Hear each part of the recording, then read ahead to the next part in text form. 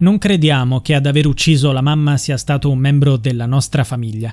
È impossibile che qualcuno possa essersi macchiato di un delitto così feroce e cruento. Il silenzio è stato finalmente spezzato da Chiara, Giacomo e Giuliano Saponi, i tre figli di Piera Paganelli, conosciuta come Pierina, ritrovata senza vita la mattina del 4 ottobre in un condominio a Rimini. Oltre al dolore per l'atroce perdita della madre, uccisa brutalmente con ben 17 coltellate da un assassino che sembra sfidare apertamente la famiglia della vittima, i tre vivono in un costante stato di terrore, preoccupati che l'assassino misterioso possa colpire di nuovo. Inoltre devono affrontare i sospetti degli investigatori, che stanno esplorando la pista familiare. L'omicidio di Pierina rappresenta solo il culmine di una serie di misteri che hanno avuto inizio il 7 maggio, quando il figlio Giuliano Saponi è rimasto gravemente ferito in un incidente alquanto sospetto. L'incidente è avvenuto a pochi passi dal condominio in cui, cinque mesi dopo, si è consumato il tragico delitto della madre. Giuliano Saponi era stato trovato in fin di vita sul margine della strada mentre si dirigeva in bicicletta verso il suo posto di lavoro presso l'inceneritore di Coriano, intorno alle 5.20 del mattino.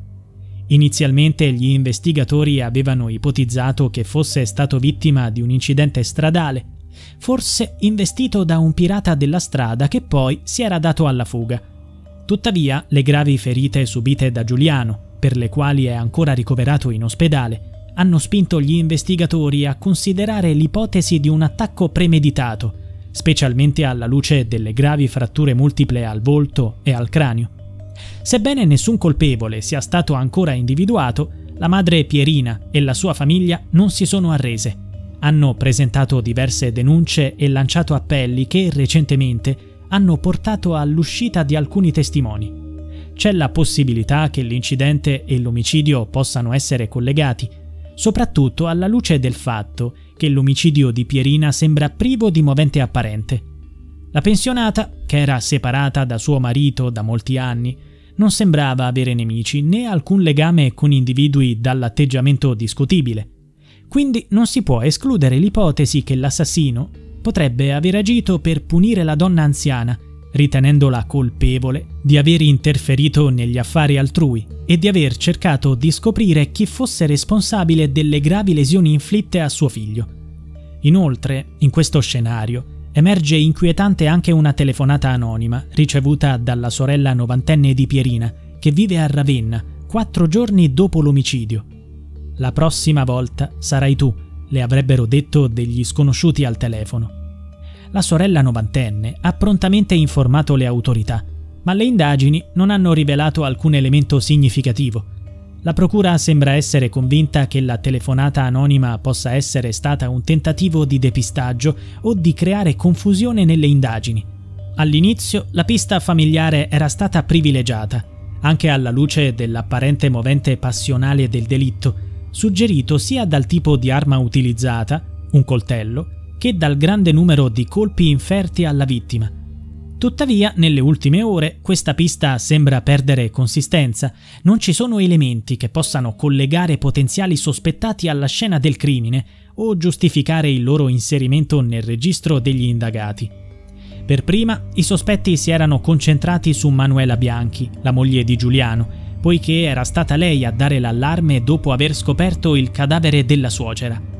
Pierina era stata accoltellata la sera precedente, al suo ritorno dalla preghiera dei testimoni di Geova nella sala del regno di Bella Riva. Dopo aver parcheggiato la macchina in garage, mentre saliva le scale che collegano i box al piano terra del condominio, fu aggredita dall'assassino.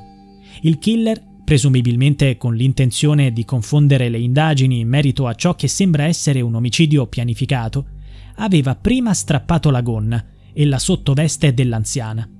Questo gesto sembrava suggerire una possibile aggressione sessuale. Quando le tracce di sangue furono scoperte davanti al garage del padre di Manuela, Duilio Bianchi, la polizia aveva sequestrato il garage e aveva condotto una perquisizione anche nell'appartamento del suocero.